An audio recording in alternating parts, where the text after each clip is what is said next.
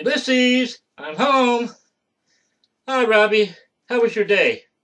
Busy. We're building a new fort in Charleston Bay. a new fort? Can I be in it? Nothing doing. You remember what happened last time. You left the place to shambles. But Robbie, eh, the answer is no. Why don't you go shopping to take your mind off of it? Because I don't have any money. No money? What happened to all the money I gave you from that tobacco plantation? I spent it. On what? Cannons. We don't need cannons. We need workers from my cotton plantation.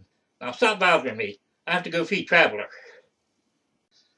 Oh, darn. Hey, Red, could you and Ethel come here for a minute?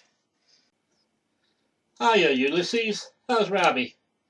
Oh, he makes me so darn mad.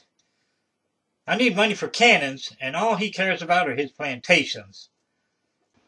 Have you tried tariffs? I've done that, but it's not enough. Wait a minute. I've got an idea.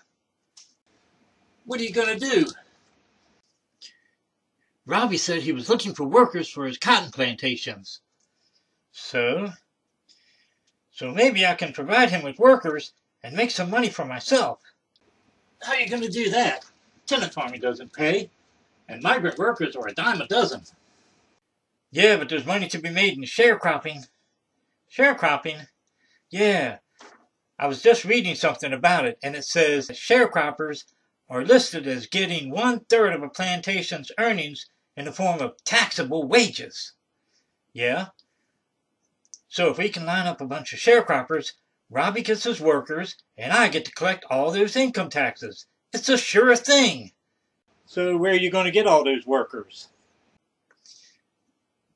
Africa. Africa? Do you mean slaves?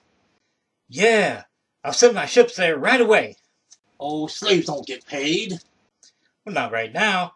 But once we get them all down south, we'll start a huge campaign to free the slaves, and they'll all become sharecroppers. Then we can tax them.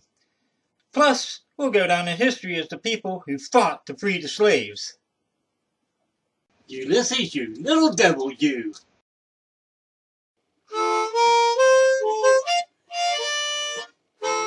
The part of Red was played by Breaking Wind.